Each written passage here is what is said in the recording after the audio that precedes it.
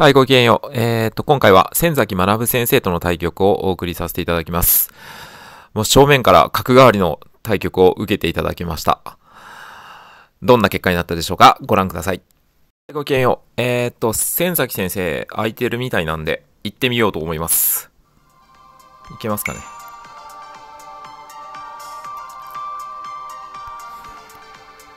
行ってみましょう。取れてますよね。毎回不安になりますか？よろしくお願いします。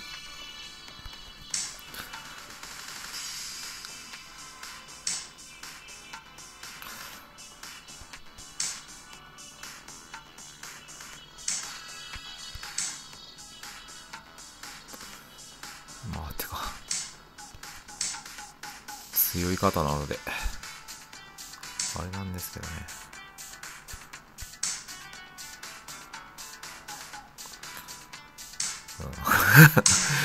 堂々と交換されるんで分かってです、うん。いいですね。えー、っと。角換わりですかね。角換わりなんですけど、棒銀で来ないよな。どっちだろう。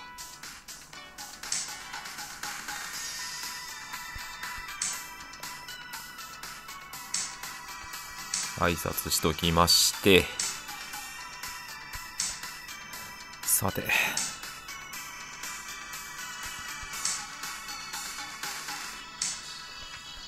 同型ですね。完全先生。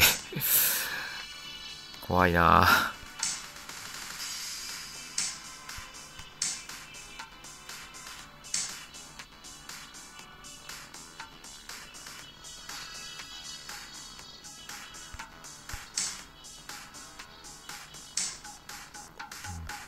こちらですよね。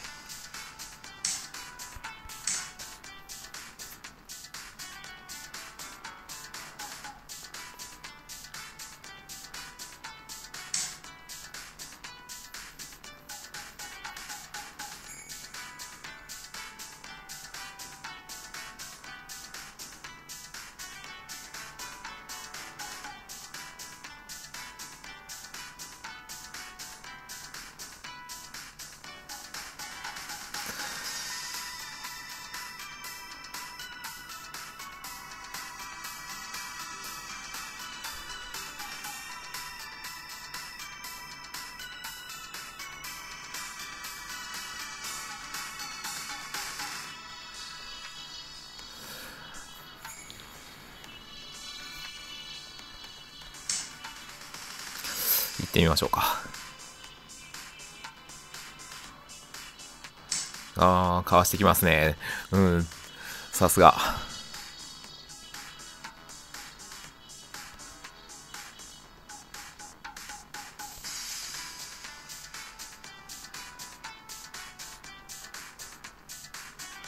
えー、っと、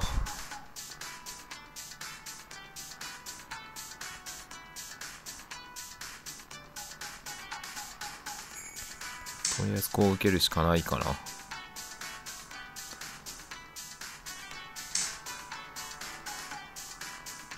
うん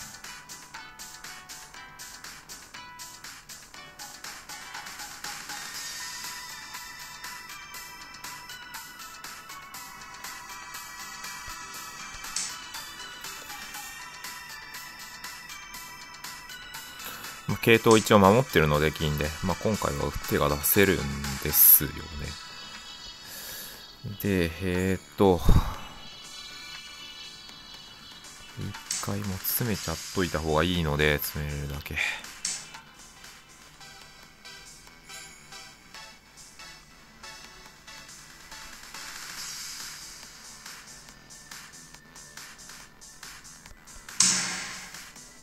さて、跳ねてきてからが勝負だろうな。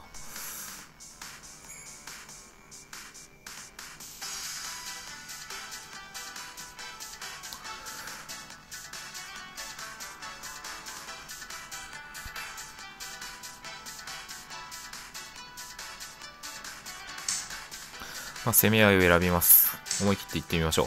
7分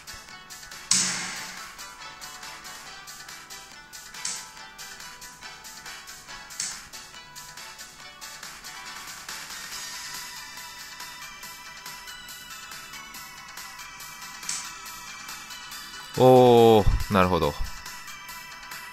これ痛いですね。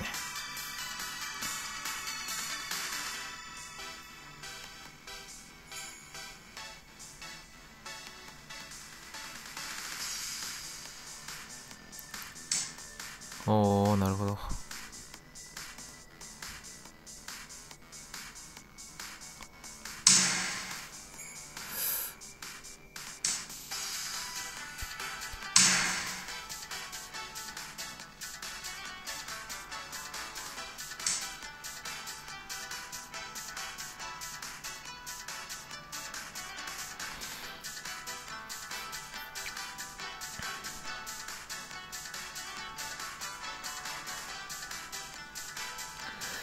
同角、同、同金だとまずい気がしてならないんですよね。頭銀打ってこられてですね、これ。まずい気がするな 同玉と取る一手ですけど、そこから銀打たれてですよね。ああ、そっちからなんだ。おー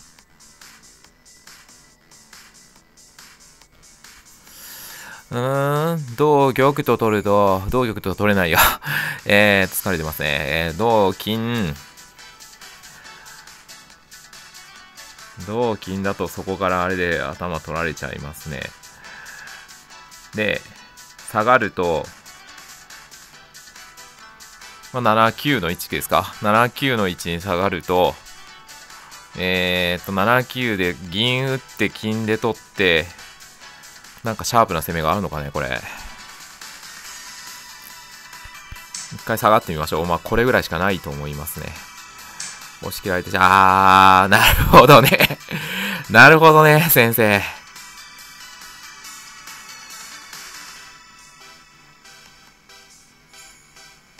これ、押し切られるか。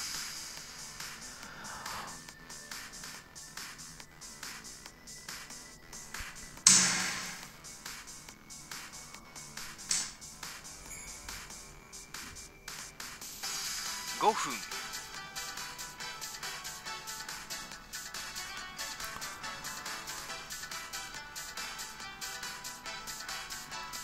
取ってしまうとまずいけど、下がっても銀打ってこられて、どうせこの形になりますね。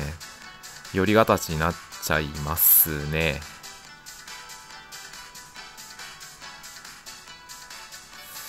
つえな、やっぱり。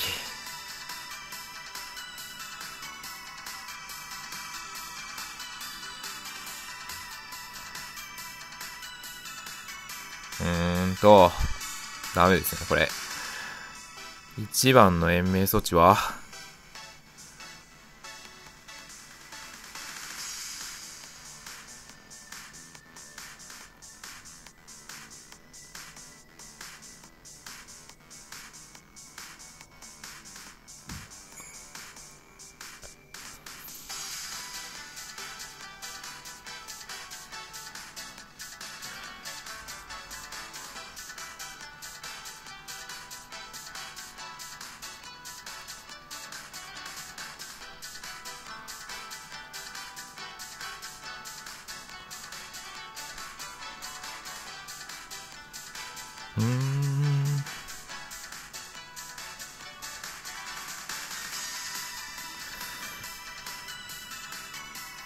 でもしょうがないですからね、これね。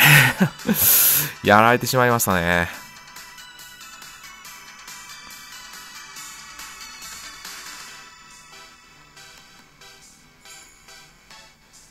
銀を取った方がいいのかっていう話なんですけど、取らない、取っても取らなくても一緒なんだろうな。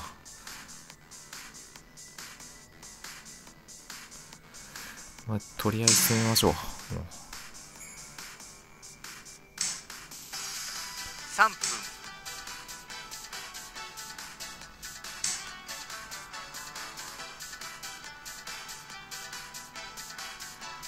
うん。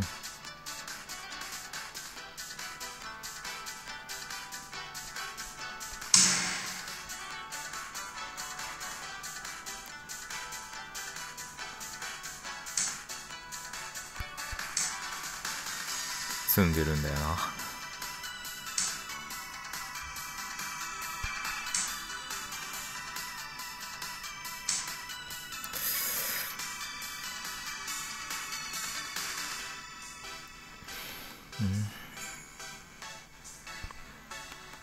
最後までやりますか。ありがとうございました。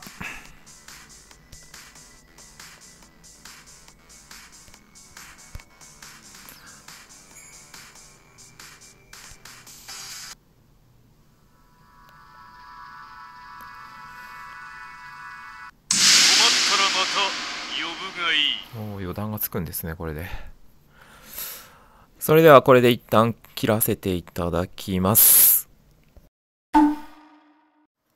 はい、それでは、千崎先生との対局を振り返っていきましょう。でですね、えー、っと、4.4段が評価はついています。まあ、序盤7段、中盤4段、終盤初段ですか。まあまあ、そこそこ悪くはないんじゃないかなと思います。終盤そうですね、ちょっとぬるい手が多かったかなという気はします。で、まあ本局のポイントとなったところ見ていきましょう。えー、っと、局面はですね、角換わりから、まあ、向こう攻めてきたんだと思うんですけど、こちらが攻めに転じてるとこですかね。まあ、先生の方がもうはるかにこの時点で、まあ、優勢になってるんですが、3筋を攻めたいと思ってたとこですね。3筋に王様いますから、なんか3筋をうまく制圧できないかなっていう対局感でいました。で、不切れがずっと痛くて、不切れがに泣くことになるんですけど、まあ、まず歩を取ってですね。で、この後飛車を引くんですけど、これね、毎回毎回こう、1四角とかで打たれて苦しんでるにもかかわらずまた忘れてここに引いてしまうんですね。で、えー、4七の金が狙われるんですね。4七の金とこの飛車の筋で狙われやすいんですけど、ここ狙われてしまってですね、ああ、金ただかっていうのがちょっと思ってました。で、以下まあ、角で補ったんですけど、これ。角打ちももったいないですからね。で、ここ、この手がなんかそうですね、最終的に敗着になっているようですので、まあ、ちょっとそ、そ、先にそれだけ見ましょうか。後で見ましょう。で、えーと、で、結局局面としてはこっちにとって3筋狙いを定めていくんですが、その間に王様の周辺が食い散らかれされていくという実態でした。もう受けがない状況に近いんですね、これね。うーん、そうですね。ここでもう攻め合い選んでるんですけど、遅いんですよね。これ負け、もうすでに負けるの決まってる状態なので、それ分かっててこっちも指してる状況でした。で、振り返ってですね、じゃあ、どこの局面かなえー、っと、ここか。これ打たれた時に、じゃあどこに引くべきでしたかっていうと、えっ、ー、と、失礼。28に引いた方がコンピューターはいいですよって言っています。で、以下6、7歩ですね。タレ歩で、こっちもはい。タレ歩で、まあ、そうですね。王様の周りなので向こうは取らざるを得なくて、まあ、なってて攻めがちょっと続くんですけど、で、比較的こちらいい形なんですね。こちらの攻めも2、3銀なりと慣れてしまえば破る破ることできるんですけど、まあ相手もそれをさせまいとして、まあ一旦銀を取って補充してですね、まあ守りに投資するということをして、この局面になりますよということです。で、以下そうですね、相手は6、6銀とか出る手筋があるんですけど、こちらそうですね、なかなか攻め筋があんまり見つからないかなっていう感じで、しかも不切れが痛い状況です。で、まあ不利といえば不利なのかなっていうふうに思います。ただ、まあこうした方が良かったのではないかという一つの線形の例だと思います。でですね、さっきの局面で一回戻ってですね、ここか。この局面でじゃあどの手が正解だったかということだけちょっと見たいので見てみましょう。願いを叶えてあ6ー八銀。後手優勢です。なるほどね。銀を下げるんだ。まあとはいえこれしんどいんじゃないかな。うん。ですよね。そっちから狙いますよね。ああで攻め合うんですね。ああなるほど。ほう一回遠ざけるわけですかうーんまあこの局面もまた厳しいのではないかなという気がしますねやはりそうですね。もう少し前の段階で差がつからつかないように、やはり、細心の注意を払って指すというのが角換わりでは大切かなというふうに感じます。えーと、以上です。というわけで、千崎先生との対局をお送りいたしました。自分自身の得意戦法である角換わりの将棋だったんですが、本当に気力差を感じる将棋となりました。女流の棋士の先生とでしたらですね、結構いい勝負ができるかなっていう状態にはなってると思います。ただ、その、奨励会を得てですね、四段になられた先生方とはですね、まだまだ差がかなりあるなっていうのを感じます。えー次回期待してください。最後までご視聴いただきありがとうございました。よろしければチャンネル登録ボタンとグッドボタンをお願いいたします。それでは次の対局でお会いしましょう。ごきげんよう。